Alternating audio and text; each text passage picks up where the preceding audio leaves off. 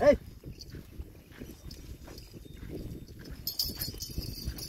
Tá! Tem uma foda lá cá? Ah!